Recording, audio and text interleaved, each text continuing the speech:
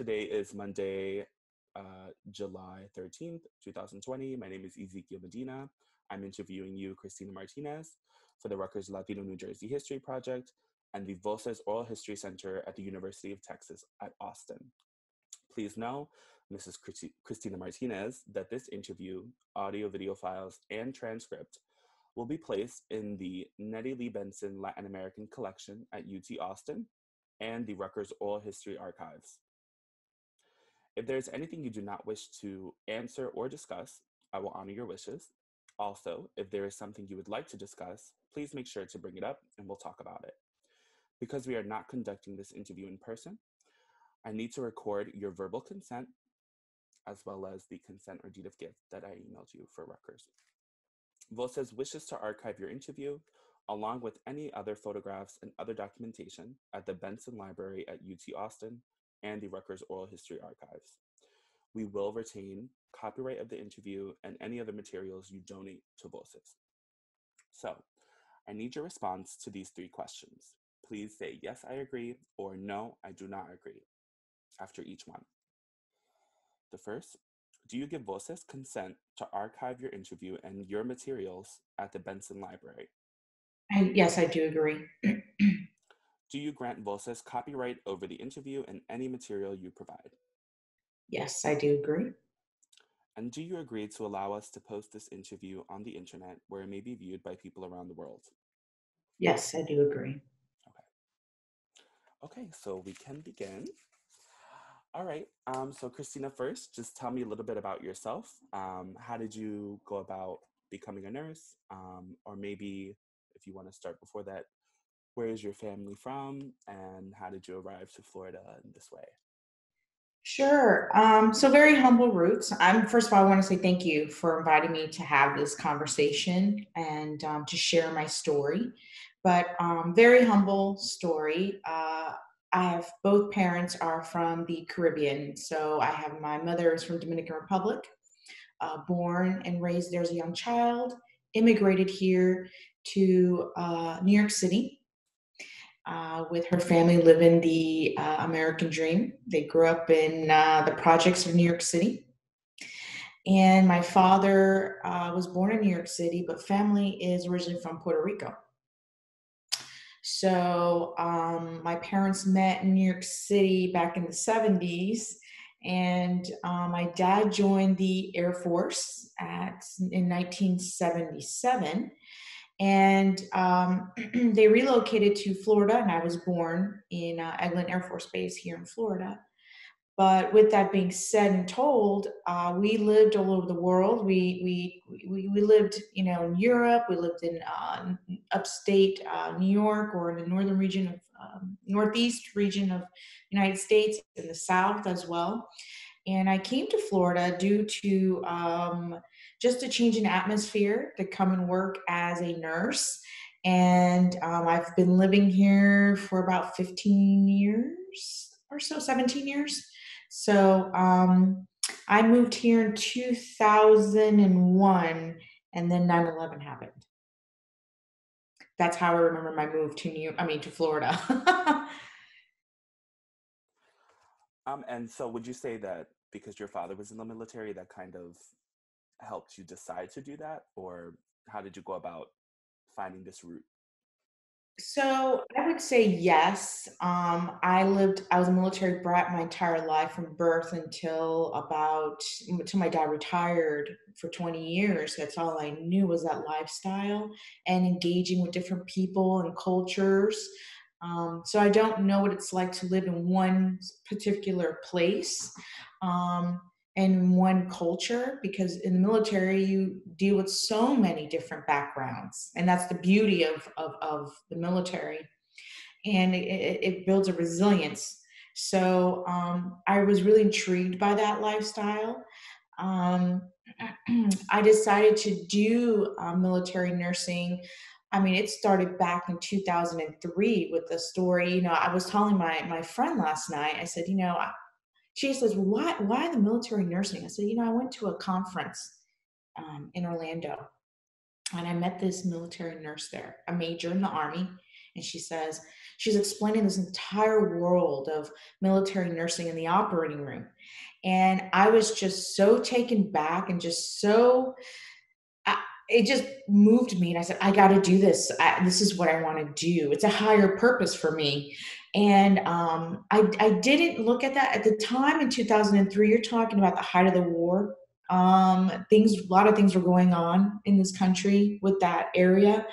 And at the time, um, I was finishing up my associate's degree, my bachelor's degree, so I didn't have the education I needed to go into the military um, as a registered nurse. And you know, starting a family, and life just takes a different pattern. And then um, the Navy found me uh, one day uh, through uh, social media on my uh, business account. And they said, "Hey, you know, you're a nurse. Would you like to join the Navy?" I said, "Well, I, I, you know, I think I'm a little too old for the Navy. I think I'm too old for the military." I said, "No, no, no, come and join." And you know, I did my research, did my homework, and um, I don't regret it at all. So that's how I landed into the Navy as a registered nurse. That's amazing. Um, so when did you first hear about COVID then? Where were you and how did you hear about it? So, COVID, the story with COVID is very tricky, I think, for all of us.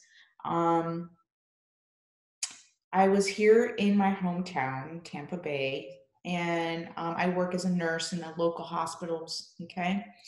And COVID still wasn't prevalent here.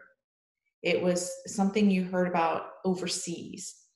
And one of my friends was supposed to go to a conference in California. I'll never forget this. This was back in February. And my girlfriend says, You know, we got this big nursing conference in California. I had two friends that were going. And there were still like people were getting sick in California. Nobody knew what this was, you know? And my friend goes, You know, I don't know. I don't feel right about going. I don't think I'm going to go. I'm going to cancel my trip. I said, Really? You're Jeannie? You're going to cancel your trip? And she's yeah this doesn't look right. I think i think this is really bad. This is this is i, I don't think this is going to be good. And, and of course we didn't know enough still. This is before seattle became the hot spot and um, i said wow this is maybe it will it will fade away like a lot of viruses do. And i was very naive with that. And then um, i started an, um, an internship here with some new nurses and covid started coming to florida and I started to see the changes in my community with COVID. I started to see a lot of fear in the healthcare provider, a lot of uncertainty, and a lot of um, questioning themselves because it was just unknown. And um, you can sense the fear in the hospitals. And that's what, when I first found what was COVID, and it was still very unknown. You know, we didn't know how to take care of the patient. We didn't, we didn't know what was the actual equipment to wear. Um, so it was, I saw my first COVID patient here was a rule out COVID patient. They broke their uh, wrist. And um, of course, the hospital was like high alert with this patient in Tampa, first patient.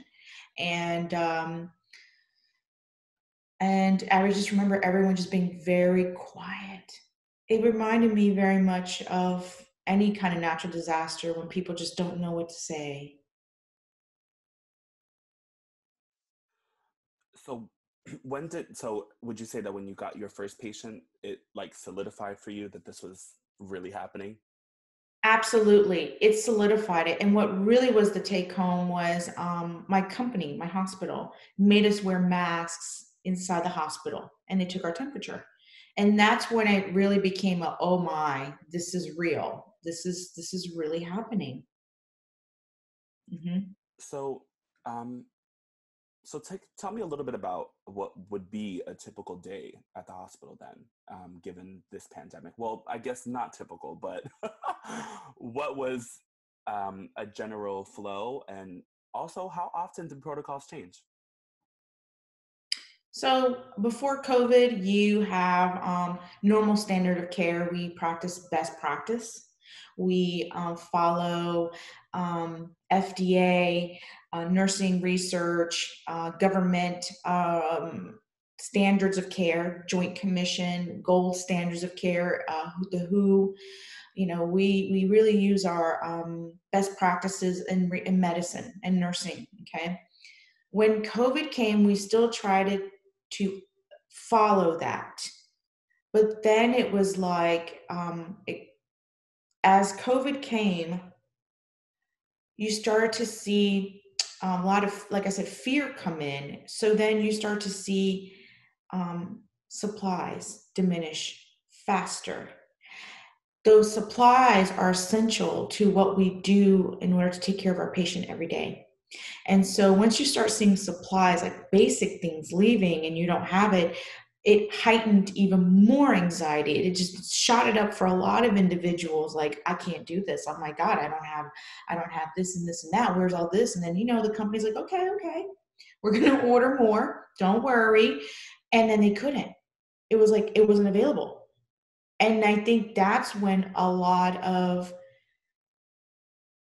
questions and uncertainty from the healthcare provider came through. You start to see ingenuity, innovation, because they were used to the normal. And now they're like, wow, okay, let me think about this approach. How did I do this before? And what is my new way of doing this to keep the patient safe and to keep the standard of care? Okay.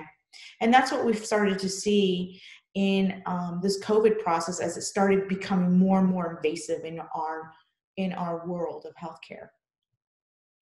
So, what are some of the ways that um, y'all innovated or used your ingenuity? Like, what what do you think are one of the clever what are one of the cleverest things that you've seen? So um, I work in surgery. I work in the operating room, and um, at the time they were saying that this disease was aerosolized when a patient was intubated because, again, a lot of unknown. And so anesthesiologists were formulating um, methods of how to intubate um, a patient without exposing or minimal exposure. So they were um, using like negative air pressure or intubating a patient in an area before bringing them into an, an, an area that is a positive air pressure, where it means that the air blows down and can expose patients everywhere. Um, also, they were um, intubating, or they would intubate a patient with N95s um, or their PAPR masks, and um, they would have the team that was not, if there was extra people in the room, step out of the room and let the room clear out, air handle, clear the room for about 15 minutes, and then come in to start the surgery. Um, you also saw using like tents. They would take um, drapes that we use to cover surgical sites and tent a patient and then kind of go under and intubate them and see an airway with like a camera. I mean, these guys were, they were, it was a race against time. It's a race against time. That, that is a lot. Um, I think what, so you said that there was a lot of fear in the hospital. How, how were people managing that? Like, how were your fellow nurses, your coworkers, your nurse assistants, how, how doctors, how was everybody coping with this? I, to be honest, everyone is unique in their own coping mechanism. I do know my organization, and I have to say, every health organization has processes in place to help um, individuals get through this. Um, they have counseling chaplains. There's um, uh, pastoral care that were constantly motivating. They were rounding on the nurses. Um, I know that the CNOs, CEOs, um, financial analysts for the companies would write emails and they would just you know try to be there to words of encouragement um, to help the morale. And um, even as we're in this hour in florida the morale you know they're still trying to keep the up tempo of that because it is very uh, stressful. It is a very stressful um, environment. So um, that you can't really escape. So that's why they call it a warfare because you just can't like like oh let me let me walk to the corner and it doesn't it's not here. No, you're kind of like in it, like you're in it, and um, you don't leave it even when you leave the hospital because it's in the community, and then you start seeing the community um, the way it is. Um, being very quiet and somber. So it's a very sad cycle all around. Okay. Um, so when did you first learn that you would be heading to New York? or you would be deployed. And can you explain to me about what that process is? that is the most famous question I get. I'm going to be very honest because this was the most unique situation that this country has faced um, next to Pearl Harbor um, because it was it was just one of those things we didn't expect to happen on our territory. So I will say that um, around March 27th, I got no, excuse me, March 24th, I got a phone call, and it started with a phone call, and the phone call was from my commanding officer and um, Commander Lau, and he calls me, and you know, he, he calls me, this voice message. I text him back and says, "No, you need to call me." I said, "Okay." So he calls. I call back and he says, "You know, um, Lieutenant Martinez, how are you?" And I said, "Good. It's kind of unusual, sir, to get a call from you. I'm in the middle of work. How can I help you?" He says, "Well, um, I have to read you um, your deployment statement." Okay. I said, "Okay." I took a deep breath and I listened. And I, you know, I take breaths whenever I'm in a crisis or in a code so I can concentrate on what the words are and the actions are. And he read it and he says, Any questions for me? And, I, and he goes, But I don't know where we're going, when we're leaving, how long we're going. And I, my only question was, Well, what do I pack? um, what kind of boots do I wear? Because I have many sets. I said, Is this land or sea? Is this field or hospital and he couldn't even answer and i said okay i'm just gonna you know prepare for the worst here and then um and then they had meetings with the admiral um, amazing communication we had from the white house and um, i mobilized with um, emf bethesda which is the helm of the president's hospital and um, they're in washington and um, the chain of command, even Admiral Riggs, was on the call and was very assuring. I mean, the words, the words she used during the hour of the call, because you knew she knew there was so much anxiety on that call. I mean, she had there was like over I think three or four hundred people on the call from across the nation. We all got the call and we were all on the line, and she's her words gave me goosebumps because she says, you know, this is this is unprecedented times and this is the darkest hour. But you are going to be doing the most important work for our citizens. And she goes, I wish I could tell you that things are going to be okay, but you have to be brave. And I said, Oh my, this is real. We are really going to go into this. And I was still in a fog. I just felt like oh my I, I i can't like my hometown is also facing this but i don't even know like the horrors i've heard on the news and the media i'm just like oh my this is going to be interesting. I don't know if i'm ready but that's why we do what we do you have to have courage. Mm-hmm. so when did you finally find out or when were you finally briefed that this was your end location? Or did you just go and so i didn't find out i was going to new york city because they were telling us well we can go to seattle go to texas. Uh, new orleans also at that time was really in bad shape. They were escalating. And um and uh and uh all of a sudden I get an email saying orders to NYC. That's how I found out. I said, oh, we are going to the epicenter. yeah. Mm-hmm. Okay. so, um, so before we talk about getting to New York, the what were some of your feelings or thoughts about having to leave your family um, and be deployed um, and how how did you go about um, coping with that? So one thing i will share at the same time that i got the call so did my husband.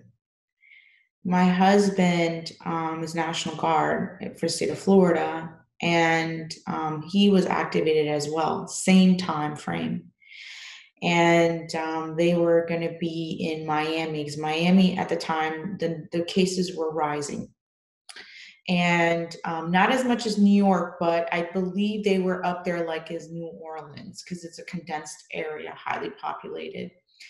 And um, I remember having this call and wondering with my three children, it's like, wow, um, okay, both parents mobilizing at the same time, which is very unheard of, very uncommon, but there is a risk of that. So um, emotions and thoughts going through my myself was I was thinking of my children first and their safety and making sure I had everything in place. Um, I wasn't necessarily worried about me um, because I we train for mental toughness. We train for resilience. Um, I was looking forward towards the challenge.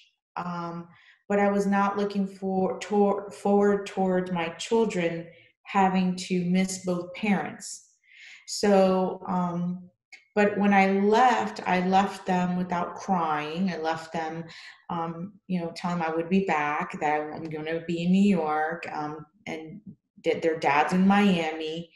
Um, and I think it was just the unknown was the biggest fear factor in my mind. It's like, wow, okay, but you have to you have to have some kind of belief in something in order to get through anything. So I just I just held on to that faith.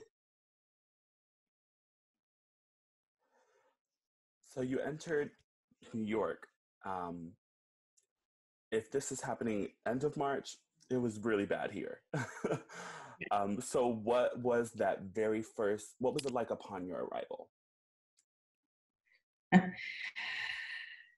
so, when we flew out, when I flew out of Florida, we landed in Philadelphia. From Philadelphia, they bussed us to New Jersey, um, Fort Dix, McGuire Air Force Base. There, it's like midnight. I can't even tell you what time. It was a long day. um, the, the airport in Philadelphia was completely empty, and Philadelphia is a, I mean, it's massive. It's, it's a city. It, it's a city, and so there was like nobody there except those of us in the Navy that flew in, and I was like, oh my, oh my, kind of took my breath away I've never seen anything like that. And it was super clean. and then um, we get to Fort Dix and it's dark. And of course, you know, you're trying to adjust your element. And the debriefing from the, you know, Army was so we're dealing, battling COVID 19. This is the invisible enemy. Up, uh, I think the state of New York at that time, I had already close to 8,000 deaths and they're recording about 900 deaths a day. And I just sat there like, oh my, 900 people a day. A day. And I thought, oh, this is real. This is very real. Um, so that was my introduction to New York City. Um, and we were also driving in with the Army Corps of Engineers, um, with the with the with the um, medical corps, with the Navy um, buses into New York, and the streets were completely empty in New Jersey, Newark, New Jersey. Um, once you hit um, George Washington Bridge, there was not a car, only service trucks on the road. It was eerie, very eerie. That gave me goosebumps actually. and I lived here and saw that, but to hear that, because I, I haven't been in the area of New York in months um, since the beginning of this. And and I used to intern in Newark all the time. I used to take the train. I was taking the train until March 9th. Mm-hmm. And things were coming from New York every day. So it was it was a scary time, but I never got to see everything shut down like that, only my area but I heard that when people saw cities empty, it really hit something different because you you realize that like you you can know it's real, but then you see it's real and it becomes an actualized thing. Okay, so um, when you arrived to New York City, where did they place you initially um, there? So when we arrived in New York City, um, it all looked very familiar to me because as a child, I, you know, I have family that lives in New York City, Manhattan, and so I knew we crossed over. We landed on the east side, but we went over to the west side. And I said, "Oh, okay, we're going to the west side of Manhattan here," and we went to an area called Hell's Kitchen, and it was again completely empty, empty and when I looked out my window on the bus, all I saw were um, military uniforms on the street. And I was like, wow, it was like hard to wrap my head. There was no cars on the street. Like New York City had no cars on the street, no taxis, no people. And I, I just, I said, oh my. So we ended up staying in Hell's Kitchen, which was about, uh, what, four blocks, I think, from um, Javits Center. But also, it was in the center of the helm of where we would service out the 11 city hospitals to New York City, um, the county hospitals. Um, so, I want to ask about your lodging situation, if you can talk about it. Like, where did they place you? Where'd you stay? uh, besides Hell's Kitchen, something more specific? Did you put you in a hotel or in like dorms or something? Uh, we stayed in um, hotels. FEMA had purchased a bunch of hotels because they were empty. Nobody was staying in no hotel. so um, they had like DoubleTree, Hyatt, um, Holiday Inn, uh, the Renaissance, whatever hotels were within that perimeter there. And um, that was very odd too because you it it reminded me something from like old wars of past movies um, because the military was in this hotel and you had a few of the team members that worked in hotel working and helping us getting us rooms and we're all in uniform and big bags and one image that never left my head was um, the guidon Bethesda came in. A guidon is is our is our is our flag, is our post, is our is our is an our announcement in our unit. So every military unit has a guidon, and this guidon was already placed in the hotel, meaning we took over. We are here, and that means a lot. That's a big deal. It's like you know, boom, this is our property. And I saw that guidon in the corner of the hotel, and it was just like, wow, we really took over this hotel it was weird. And people would walk by and they're like, it's like all military in there. It, it, just reminded me something like of like like the Pacific in World War II or like, you know, the Civil War, you know, where they where where um soldiers would take over homes or um live in residences that don't normally host people, you know? It, was very different. was it anything that you were expecting? I'm not sure you could even have expectations. okay. Um. So, since you are initially, or your family's initially from New York, what was that like coming back during this particular moment for you? It was very eerie. Um, because I've walked those streets before. My dad used to work. Okay, so we were near Times Square. We're near 34th Street. We're on 39th and 7th and 8th. So we're in Garment District area. And uh, my friends and I had to go to the store and I'm walking around and my dad, my dad used to work at the McDonald's off of 34th Street. okay, this is how near home it is for me.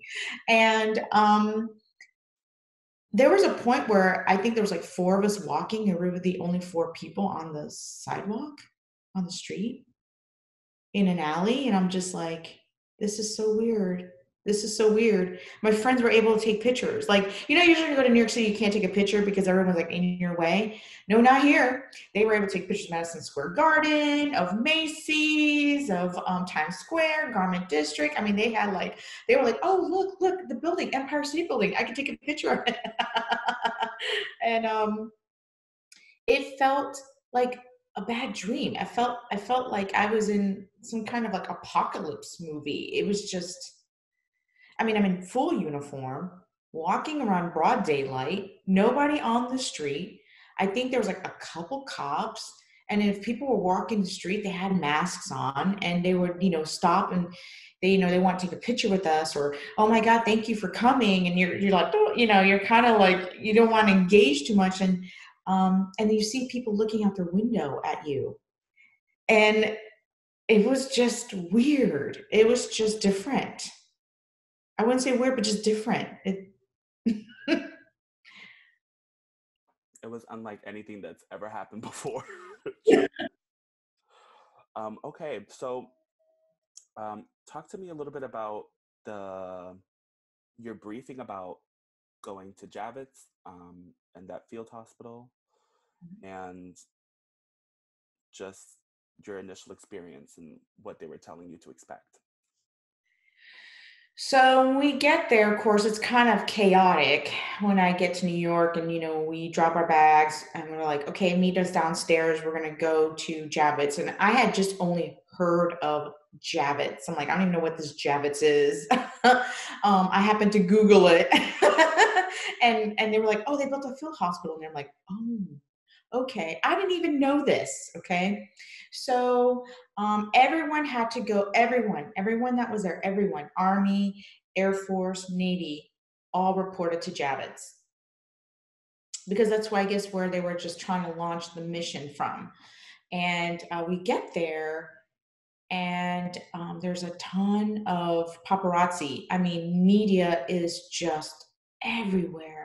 The cameras, the zoom cameras, those long ones you see, and you hear and you see the lights and you hear the and the flashing. I mean, it was just so built up. I, I, mean, I'm like, I'm just here to do a job. And it's just like all these reporters, it was overwhelming.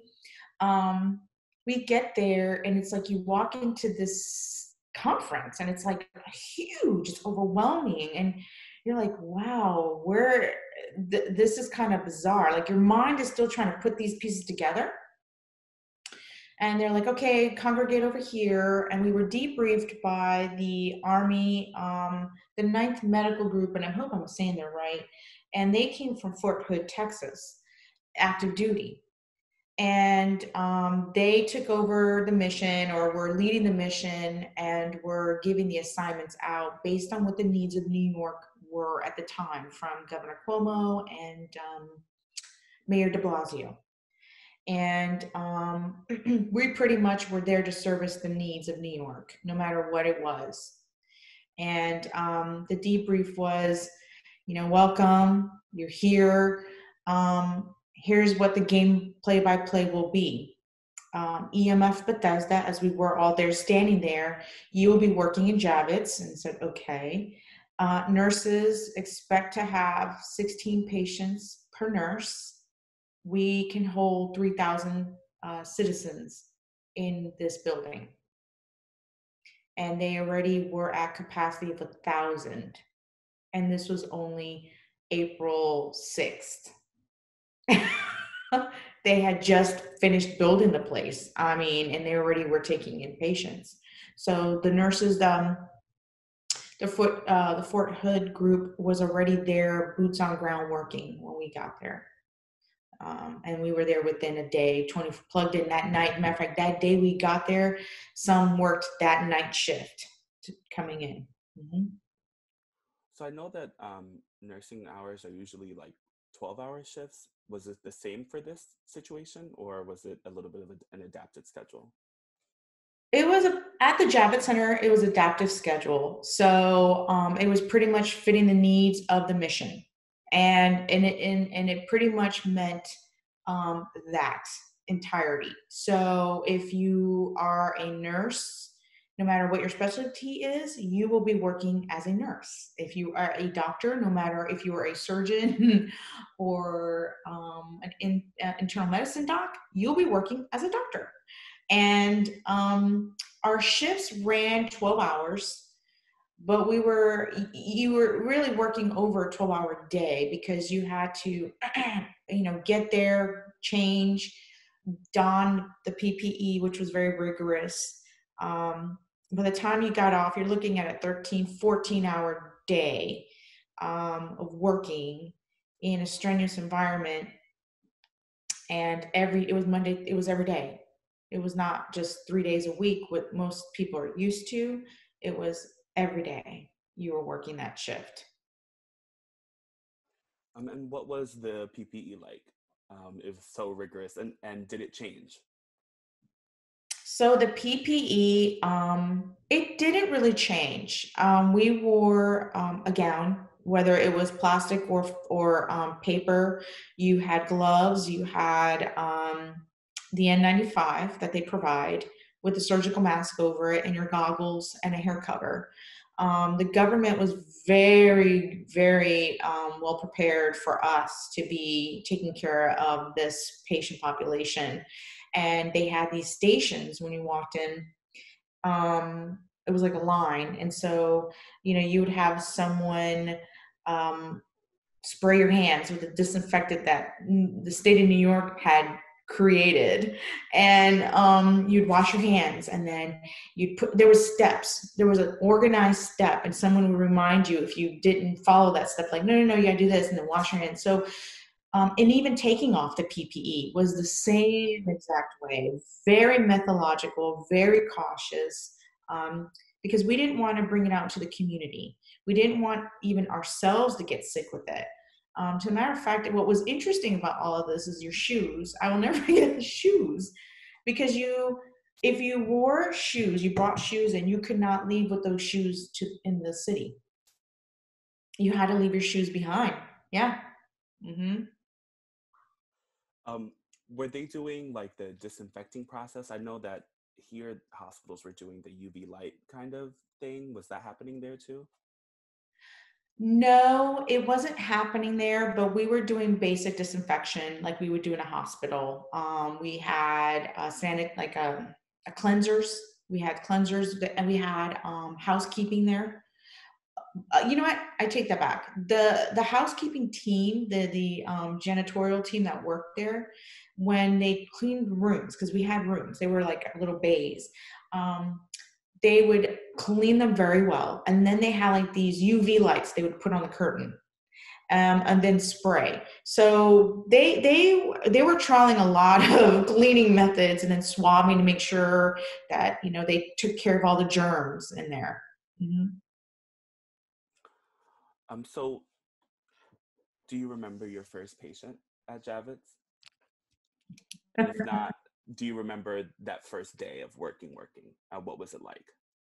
So first day of working so i had okay so to say my first patient is an understatement because i had like nine patients. I didn't have just one patient. And um, we went in the first day we were my my friends and i were orientated by the nurses who had worked the day before. Okay so they only been there one day.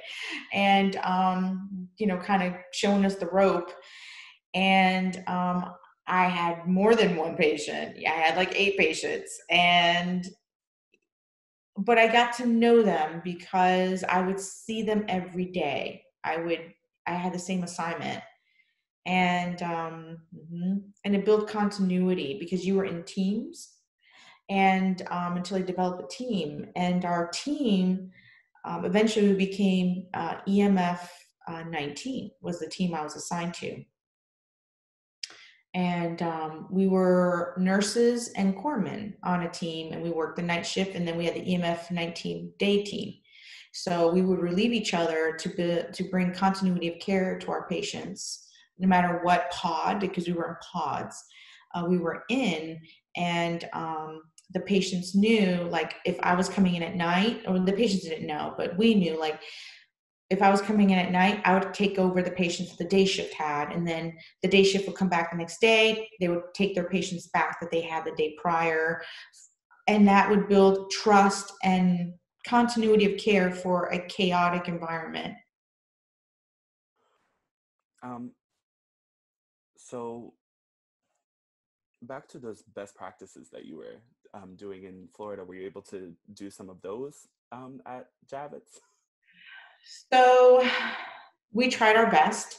we um, the government really didn't have a lot of wiggle room when it came to um, ingenuity. They wanted you to use what you was there. They, um, you know, if we ran out of something, they had already ordered it. They didn't. They didn't want us to, um, you know, uh, be without supplies. Um, you know, there was a point where we did run out of basic supplies. You know, um, and every day like you're talking about processes change it's um, pr- prior every day the process changed every day you came in it was something new I was like, oh, today we're not going to come in through this door. Today we're going to come in through this door. Oh, no, no, tomorrow we're going to be doing this. And every hour, it just seemed like there was a new piece of paper and there was um, a new process, new equipment. and you were like, every day was something new, every day, and even every hour. Because one day you worked and you had minimal equipment minimal i mean you just had a bed and a chair and a table and a light in there the next day next like week you're walking in they have equipment to monitor their oxygen saturation with no in service you're like okay and then the next day they have alarms on the computer to let you know that the patient's not doing well i mean it was like you had to be very flexible with the everyday um so Um, so what was the experience like? Um, well, how many patients would you say that you had that were of Latinx descent, Latino patients? Wow. Um, I want to say a large percent of patients. I, I, I can't give an exact number, but with about close to 2,000 patients, I would say at least half were Latino. Um, there were also African American, um, there was Asian American, there were um, European uh, primary descent um, immigrant that didn't speak English, uh, like Russian, Polish, Eastern European. Um, there. So you had a major melting pot of diversity and minority disparity in the building.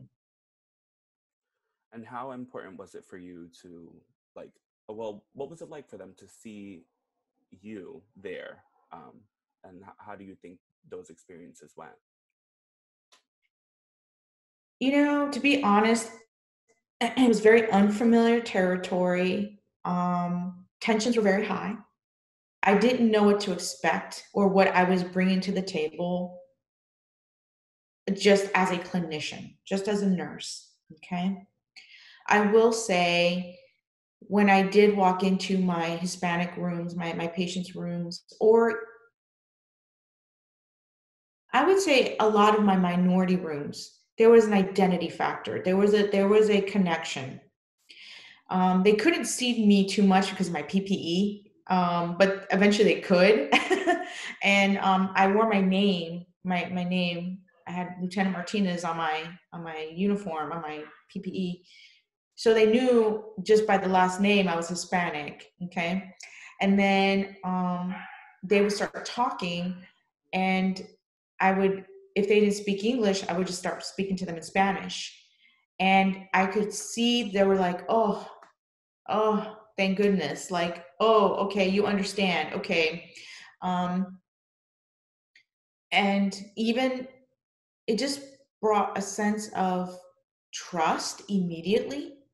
I mean to the point where my patients were calling me nina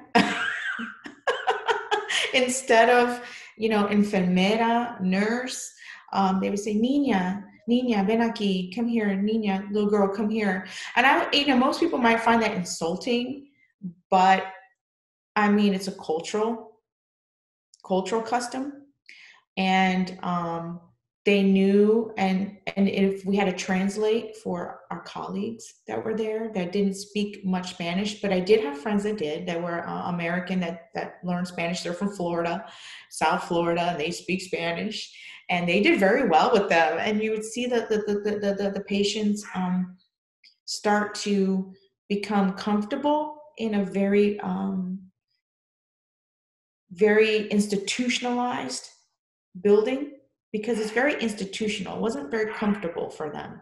You know, it's like in a warehouse. I mean, who wants to be in a warehouse?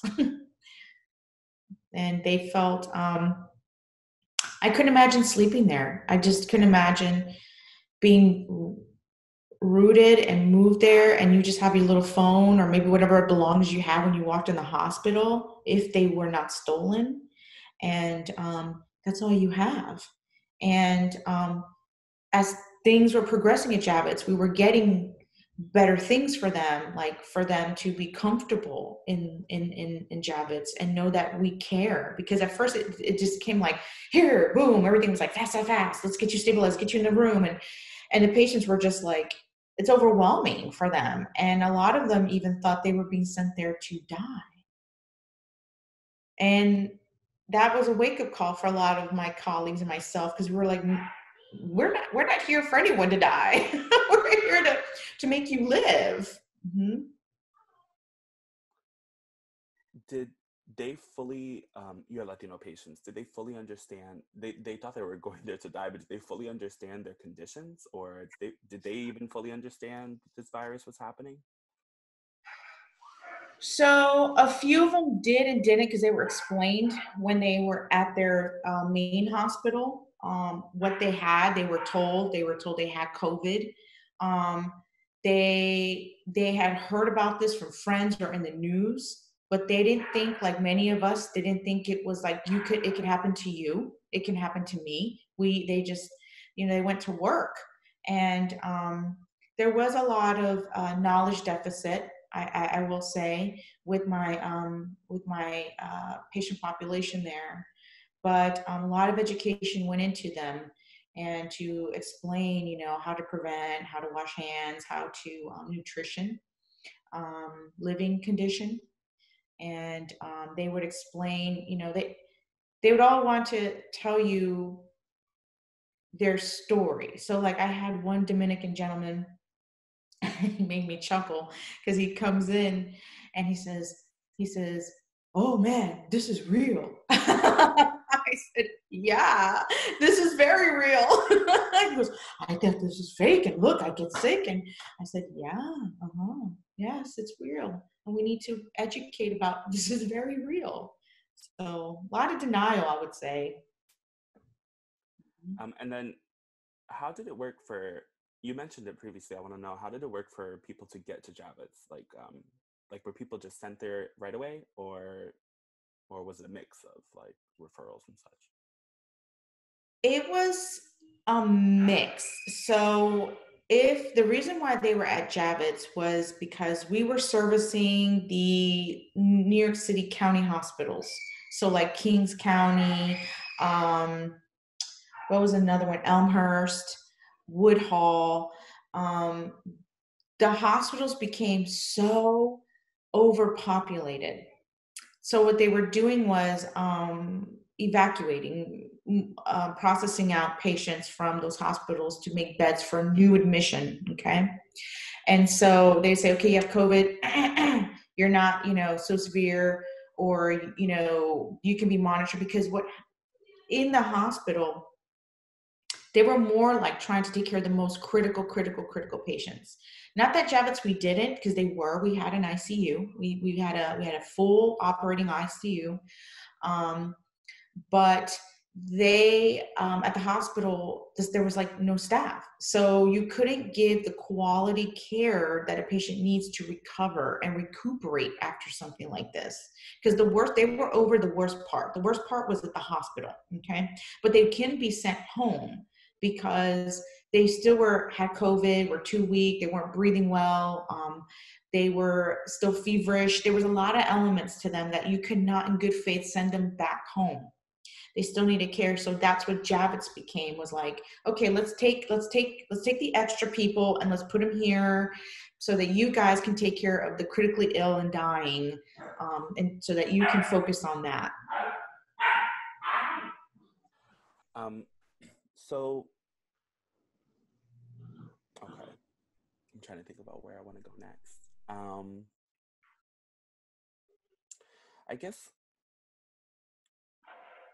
okay i guess what are um some of the more bizarre symptoms that you witnessed um, or things that were really out of the normal for you?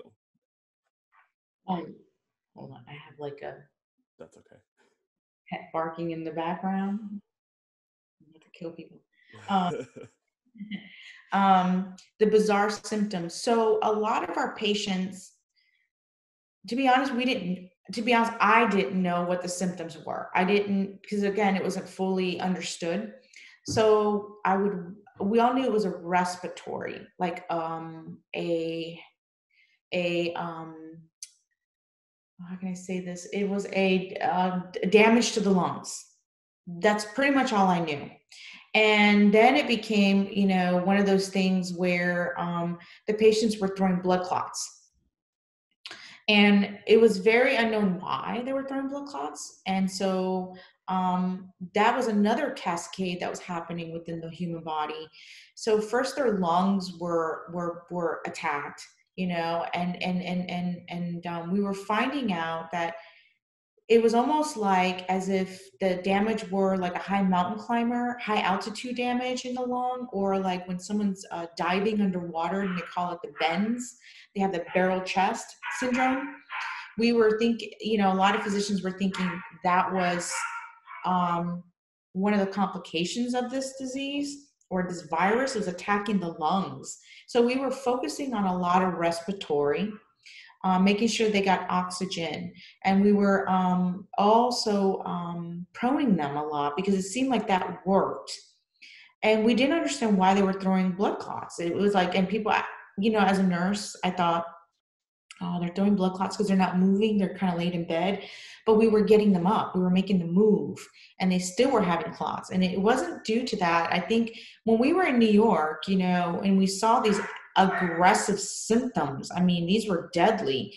A lot of research was being done at the helm. I mean, you had doctors drawing labs, looking at everything. I mean, like, no rock was unturned. Okay. It was like they were looking at everything that they could. Okay and we were pushing medicine like we've never pushed medicine before and trying to discover what worked and didn't work. And you would hear dialogue from the physicians and nurses about you know steroids and anticoagulants and um, what antibiotics are the patients receiving and the hydro the controversial hydrochloroquine.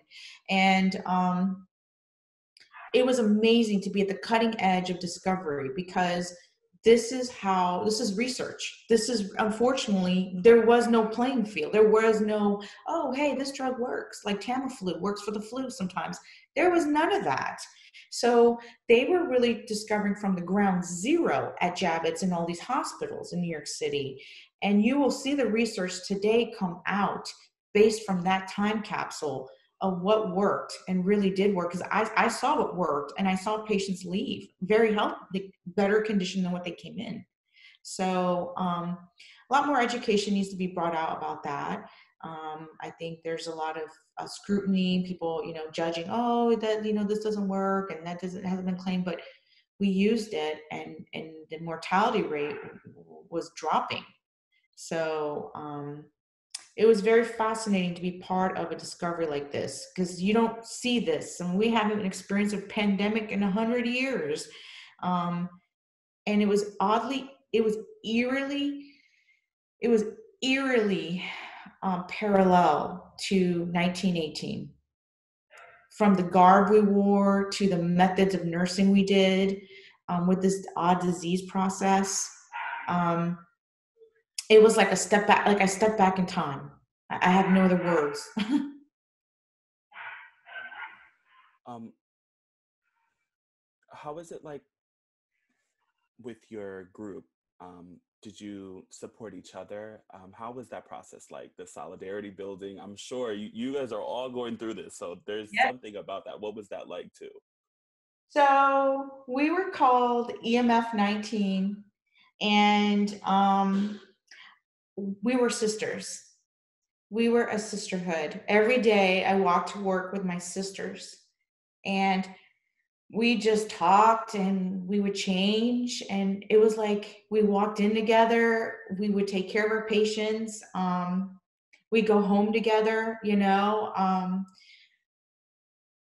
you have to have a strong support system And um, I remember one nurse in particular, um, uh, Lieutenant Commander Walton, she says one night, she goes, We were talking, and she says, You know, this is not greater than Psalms 91. I said, What? She goes, There's a book. I want you to get it. And you can't get this book, by the way. This is a military issue book only for the military. And she goes, Well, you, you know, you might have to try finding it. I said, Okay.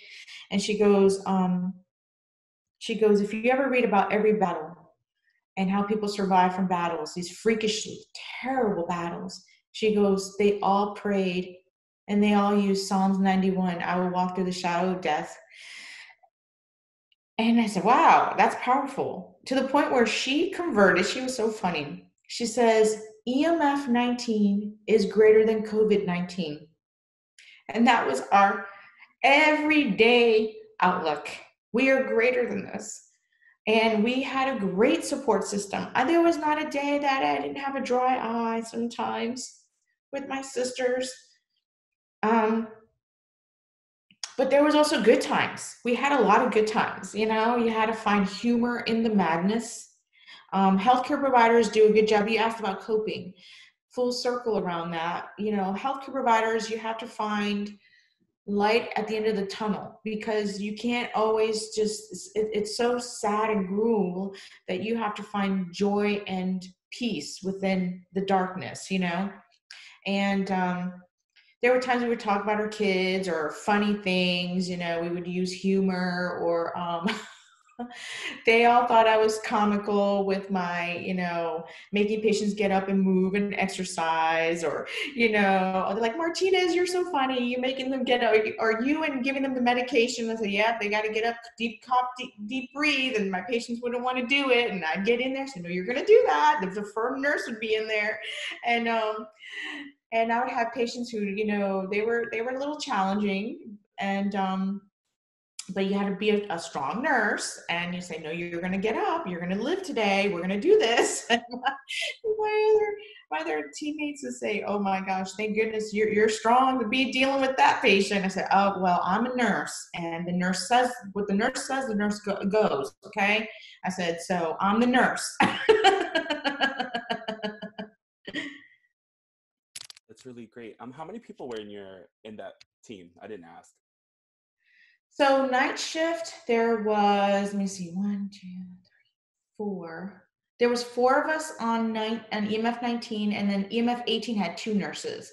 So um, because there wasn't many nurses, they would try to team build uh, two nurses with like four corpsmen. And the two nurses would divide the pod, and the pod would have like 24 patients or more, and so that'd be 12 patients per nurse. And then um, the corpsman would help to take care of a patient if it was vital signs, um, helping to administer medication, um, bathe patients, um, help with the nurse getting the patient up. So um, it was a very, very busy, busy, busy time. But then, you know, we were able to come in um, I was a peri-op nurse, so um, I work in the operating room. I don't, um, I don't work in the specialty of um, medical surgical nursing, but because there wasn't enough medical surgical nurses or ICU nurses, a nurse is a nurse, a doctor is a doctor in this crisis. So we had to up tempo quickly I worked this kind of nursing 20 years ago. It's not that I forgot, it's just I'm a little rusty, but I got there, you know? And so, um, because we had to help the nurses, we had to help the team, there was just not enough. There was just not enough. So, um, yeah, most of the teams used to have four nurses working and about four or five corpsmen so that they can help again with the day to day, bring patients to the bathroom, showers, um, feeding, phone calls, you know, was it just um, deployed service members at Javits, or were there other healthcare workers that joined with y'all? In the beginning, it was just the military.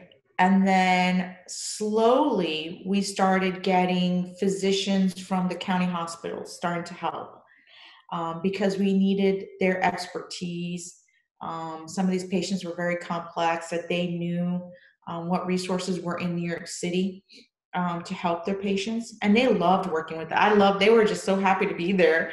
Um, we slowly started uh, gaining civilian nurses, nurses in the community. A lot of these nurses came from um, upstate New York, um, from nursing homes. A lot of them came from some of the uh, hospitals in the area that just were looking for um, extra um, pay or just to help because they saw an advertisement. Um, I think FEMA had someone had put an advertisement for Javits or this mission, and they they knew because I asked. I said, "How did you know?" And they said, "Oh, we saw a job and it was to help the military." And we want to be here. And I just think it's so awesome what you guys are doing. And I'm thinking, I find it funny that you want to help us. We're helping you, you know? Like, I thought it was very noble. I thought it was awesome that we brought a positive um, uh, impact.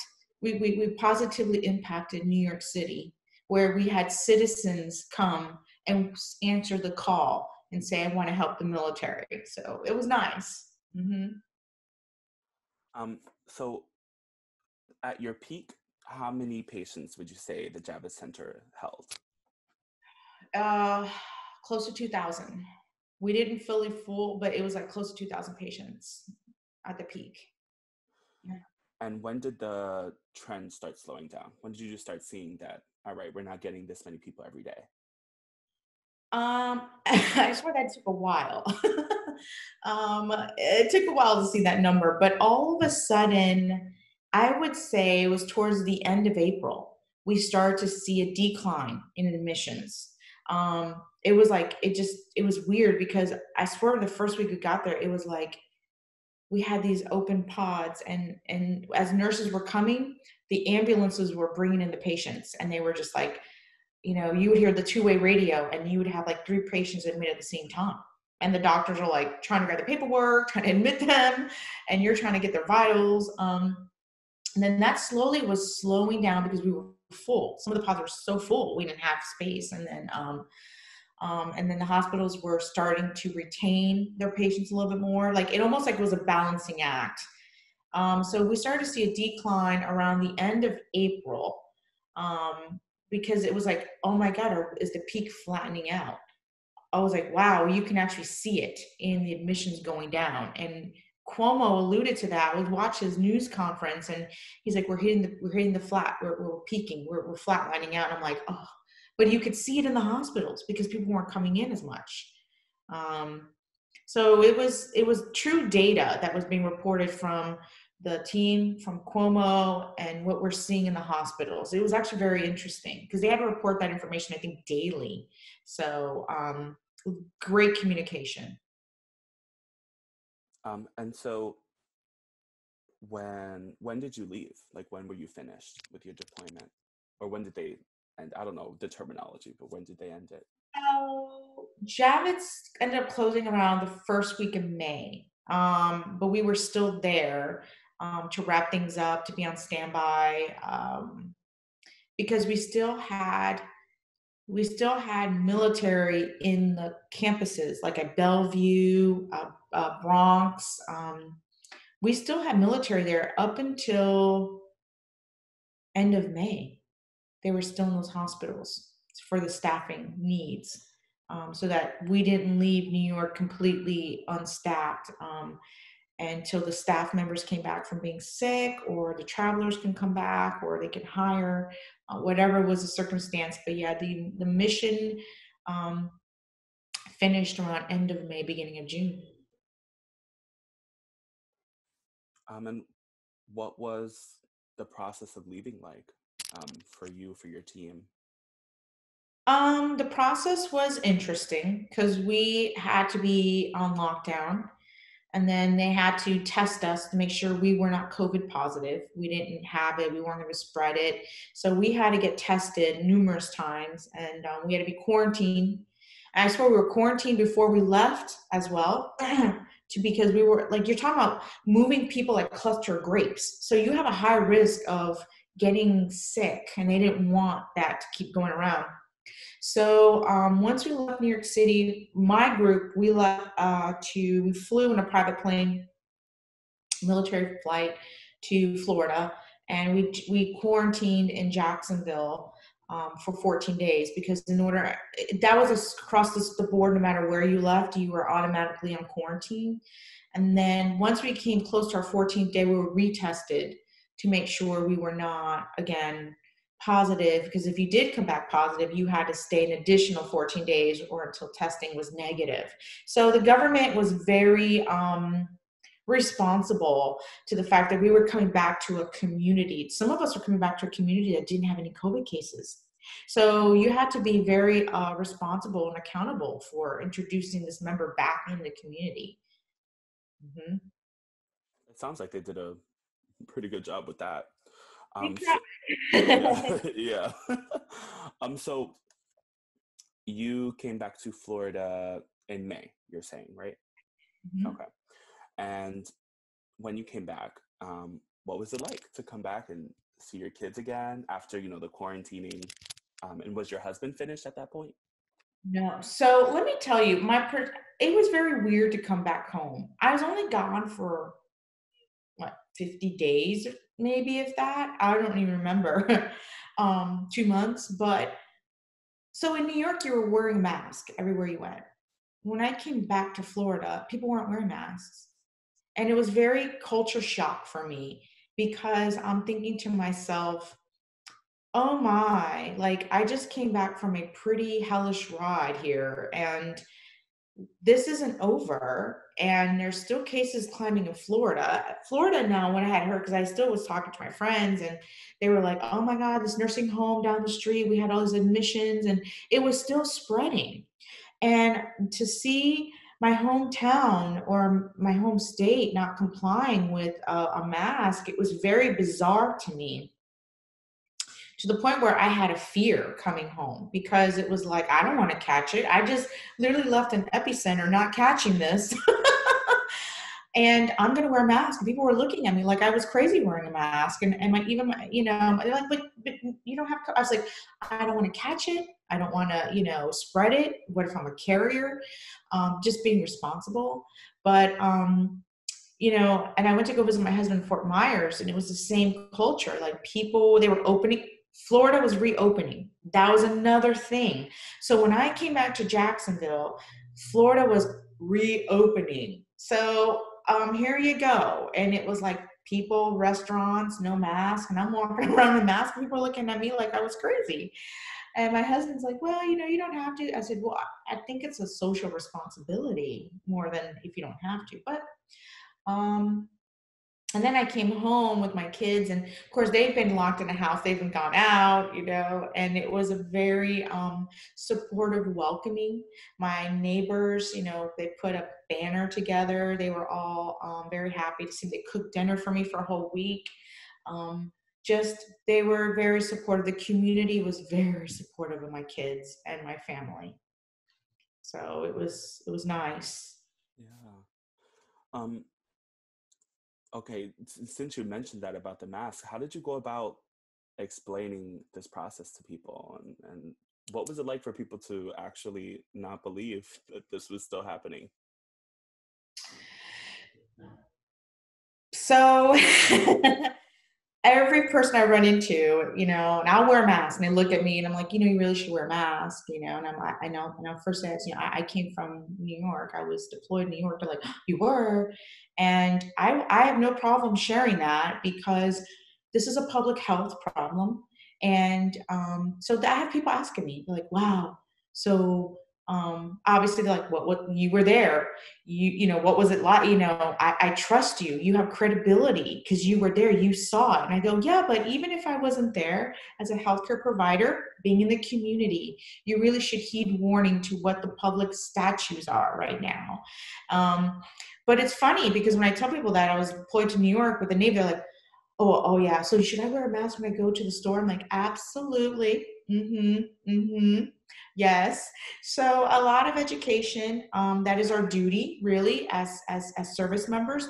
Really, serving is to serve the community as well. So um, educating is a big, big, big thing that we've been doing, and, and the military has been, you know, very supportive of educating, reaching out, you know, talk, telling our story because this was very real. I, this was not this was this was not media um, made. This was this was real.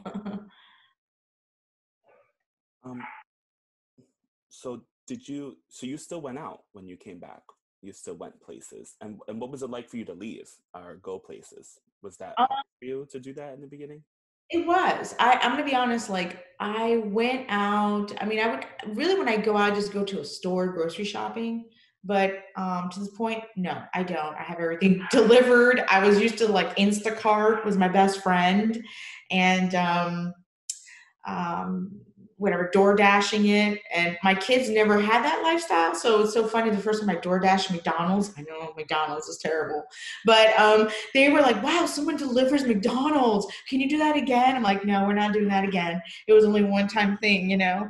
But um, yeah it's it was it I, I try not to go to a lot of places and if i do i do a lot of um, you know i stay my distance wear my mask my kids have their masks um, it, no, it, it is, uh, you know, you try to educate, show by example, because cases keep going up. And are you back at work now in your original yeah. hospital? Mm-hmm. And how has that been? Um, have protocols changed again? Uh, how are people adapting? You know, the, my poor health system. So they were dealing with this back in March, and then the numbers went down um, because everything was completely shut down. Then, as the state opened up, things are obviously increasingly uh, rising pretty fast. Um, they are they have a pretty good handle on the health system of trying not to get it not have it overwhelmed. So I have to say they're doing a really good job of being on top of it. Um, from the health care standpoint of, of supplies and, and, and hospital beds and things like that. Um, community wise, I don't I don't know um, why the numbers keep going up, but they do. um, what about the Latino population where you are? How have you seen how it's been affecting them in particular? Yes. So similar to New York City. Okay. So if you look at the map, um, if you trend what's happening in Florida, some of the heavier hit counties are um, a lot more Hispanic per population percentage. And um, to the point where my mother-in-law just reached out to me and, and she says, you know, her family friend has a friend at one of the my hospital campuses. If I can reach out, I said I cannot, you know, and um, you know, and and um, it is a heavily dense um, Hispanic population in certain parts of the county here, and um, I, I would say a physician may know how to answer that question as to why from a disease process. But from a cultural, socioeconomic standpoint, as a nurse, um, and identifying with the Latino community, we are a unique culture where we um, tend to be housed with many generations in our home. We are very social beings. We are um, social as in like hugging, you know, kissing the cheek, you know, touching everyone, you know, um, cooking, having people over your house, um, alcohol, if there is or not, you know, that's a question. But uh, we are very social creatures and we like to be out and have, you know, a good time not and i'm not saying that's every hispanic or latino i'm just you know for the most part or it's we're the essential worker where we are the ones out working we're the ones driving the bus we're the ones in the grocery store we're the ones in the hospital we're the ones that have to work to make ends meet. And so we're driving the buses getting exposed um, we have to work. Hence this is also why you're seeing this population spike in numbers um, and it's not just partying, it's also working. Um, and it's the one, you know, it's the kid working that brings it home. And maybe there's three generations living in the house and everyone gets it. Or they just get it. Or, um, you know, they get it, they live, but everyone gets it and dies in the house. Or they all get it and um, they all die. I mean, it is just the, the most bizarre disease that you'll ever see. And you hear these stories, and I, I've asked a lot of my patients, I'm looking into their living, you know, what their nutrition is as well, like the whole picture. Because as a nurse, I look at you have to look at the entire picture. It's not just your income, it is your nutrition, it is your living, it is, you know, where do you go to shop? It is the whole entire gamut. Where do you pray? Do you go to church? What do you do? What is the entire um, psychosocial well being of the individual? And it's interesting because a lot of my patients um, were very, um, very ill informed about uh, vitamins uh, nutrition, the foods they should be eating uh, to control uh, their hypertension, to control their uh, uh, weight, um, food selection, the processed food, the food they can only afford. Um, the, the, the, the, living condition they can only afford to live in. And so it, it, it, it is it is very eye-opening when you start peeling back the layers of the Hispanic community. And it's and, and of course as, as Latinos, we come in an array of colors, right? We have the Afro-American all the way to the Taino Indian to the Mayan Indian, depending on where you are from. And all those um, elements within ourselves plays a big factor in how we are going to respond to treatment of care and medication. We are a unique people on that end.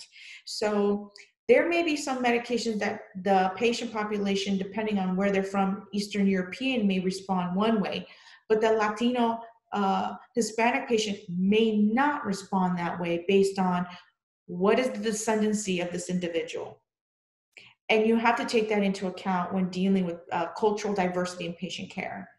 Um, and be very sensitive to it. And a lot of my colleagues that were from multicultural backgrounds understood that picture understood the story of the essential worker of the immigrant coming to have to work to pay their bills but they're exposing themselves to this virus. And what about the folks that weren't so sensitive to that? What what was it like having to maybe educate them if you did that or not? We did, you know. Um, I wa- I worked alongside some of the best people. I, some of the best, very open-minded individuals, very sensitive to what the clinical picture was in front of us, and um, those that didn't know, because maybe they lived in an area where this is not a prominent community, a prominent culture, were open to understanding. I didn't run into resistance on that end, I have to tell you, because as a healthcare provider, it's humanity first. It's humanity first. So everyone was there to help, and how they could help was to learn. So we all were learning. We all were learning. Um, how have so the pandemic is happening, but there are also countless social movements happening at the same time. How has it been for you to like how has that maybe impacted your daily life or um, how does it weigh on your conscience if it does at all um it hasn't impacted my daily life um, I still serve this nation with integrity. I um, believe that things work for a certain way, but um, I believe in what is right for this country. And whatever is the pathway it takes, it takes. I have to support the decision that's taken as an officer in the military. You support the Constitution and you support the nation. And whatever way it goes, you must support. So um, that's pretty much my take on all this. Whatever pathway it takes, it takes. Um, okay. I don't think I have any more questions. Is there anything else that you'd like to share, or something you did mention, or something you want to say? I wanted to say, I wanted to put in a powerful message from a patient that um, had talked to me while I was there. Um, and this was after Easter, and I will never forget this. As a matter of fact, this was something I was going to try to open with. Um, hold on, excuse me one second. Go ahead. Yeah.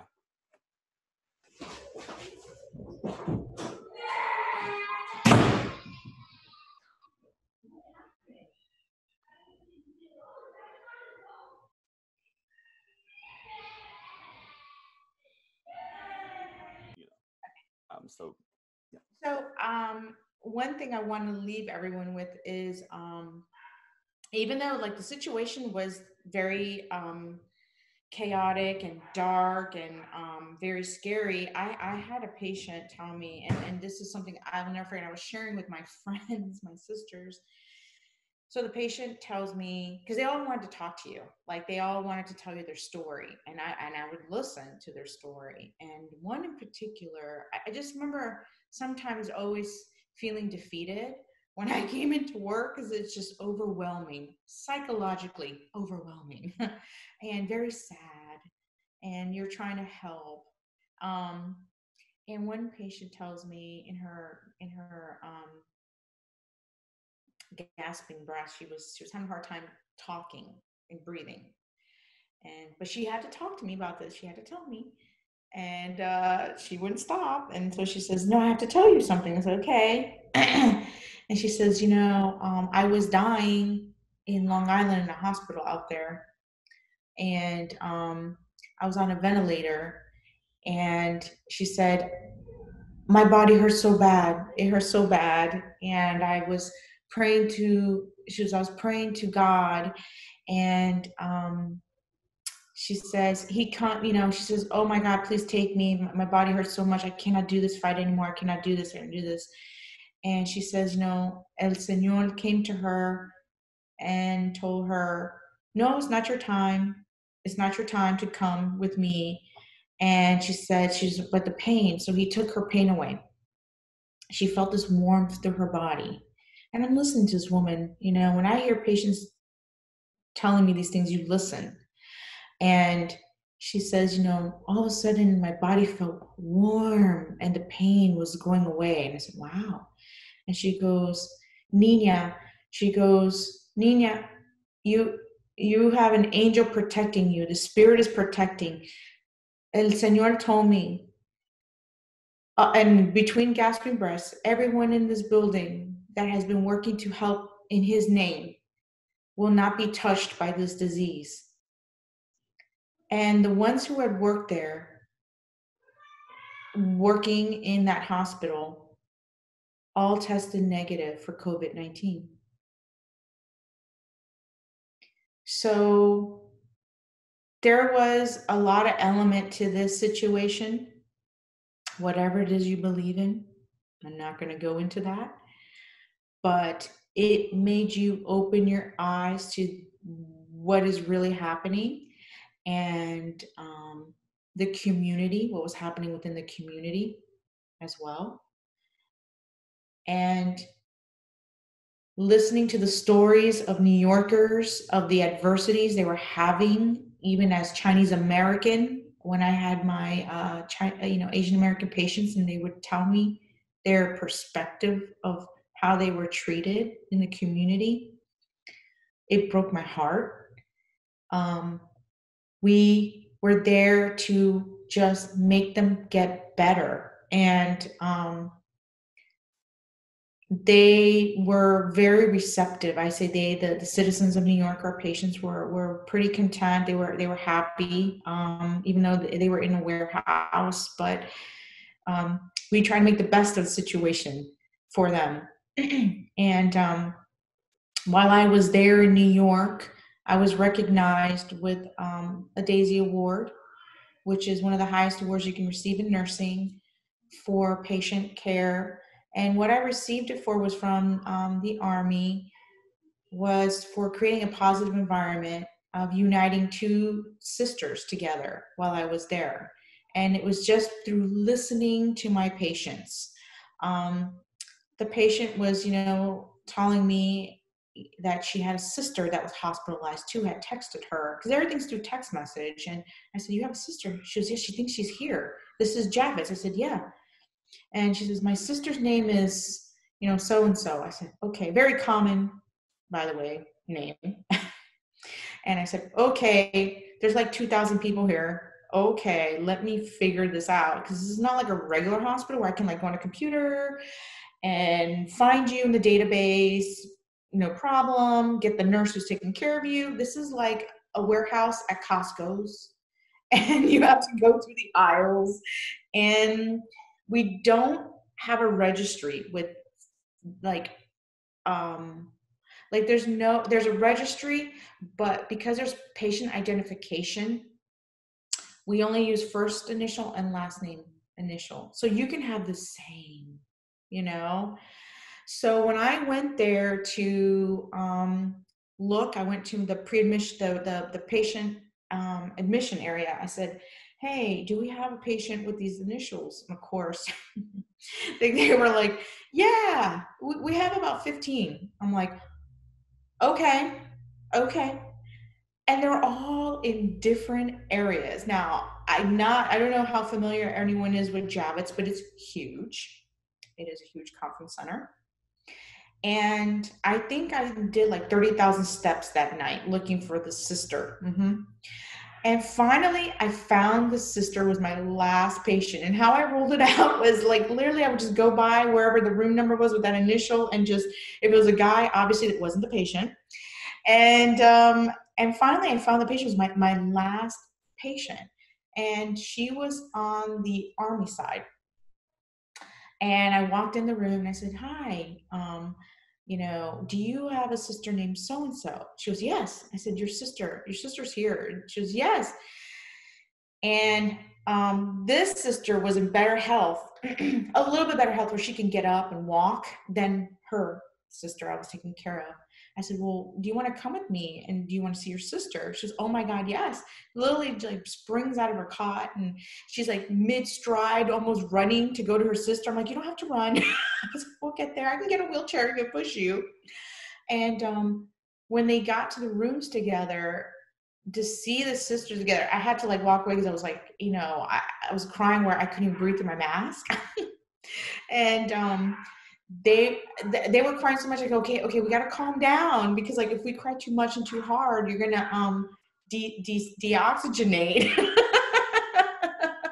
And you know they were they were laughing and and i said we gotta take it easy.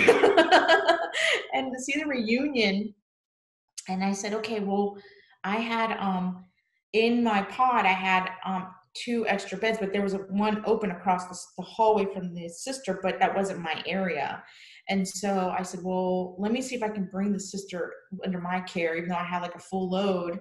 So I went to the army side and I, I said, listen, um, your patient in this room it happens to be a relative of mine, of one of my patients. I'm going to move her. I didn't give them an option. I said, I'm going to move her and she's going to go to my area.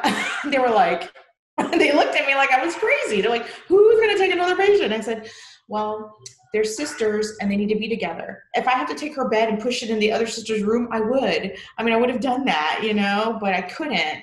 And they were like, okay, I said, I just need someone to help gather her things and I will assume all responsibility, all her care, her charges, give me it all. And they were just like, I mean, they were like still kind of confused with all this.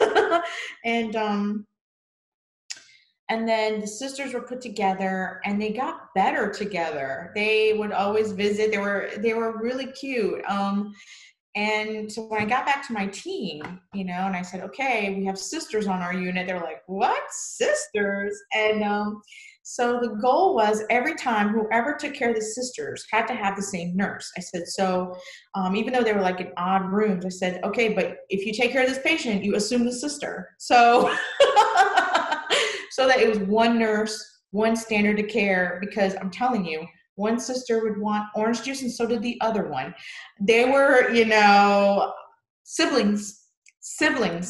And so I just took what my my my my my reason for it, I mean, I would I would do I would want this done if this was me. if this were me and and I had a family member and I was in a really really really bad situation like that, I would want someone to do the same for me. And that's that's my moral compass. I do for others as I would want done for me. And so you know, to to have that, it was like, oh man, this is this is making the situation a little bit better, you know? And um it brought up such morale, even throughout the whole building, because I ended up writing about it and people were just like, you know, like, wow, we did something great. Even though we were doing great things, but we did something even more powerful of uniting family and and because the stories were so sad. The stories were just I mean, they were coming in and they would be like cold stone because they came in with their their wife or their mom and their brother, and mom and brother died, and they were the lone survivor. Or they came in with the wife and the wife died, and it's their birthday. I mean, it was just something hard to wrap your head around. And now they're to have to go home and pick up these pieces.